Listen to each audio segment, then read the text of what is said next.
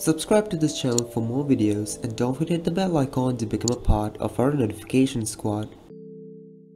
Redmi Note 4, Redmi Note 5, Redmi Y2 and Mi Max 2. What do these phones have in common? It's the processor, the Snapdragon 625. Xiaomi has been using the same processor for all the budget phones since the launch of Redmi Note 4. This is the reason why. Xiaomi set the bar too high. This phone set an incredibly large precedent in price to performance ratio. The Redmi Note 4 set the bar too high for Xiaomi to beat their own previous efforts.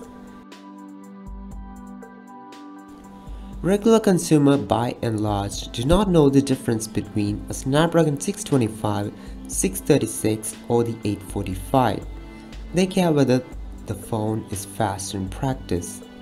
Only the tech savvy notice the difference. Even though many fans are unpleased with Xiaomi releasing new phones with Snapdragon 625, sales number shows all the budget phones have sold more than millions of devices in India alone. So this existing strategy is working well for the company. The next best budget processor is the Snapdragon 636.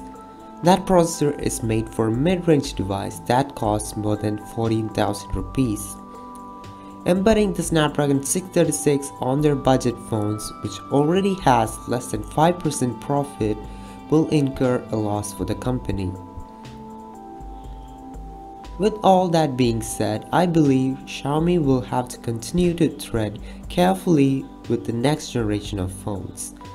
While it wouldn't be too difficult to top our performance expectations with the next generation, they would have to make sure the battery life continues to be in the ballpark of what the Snapdragon 625 yields today.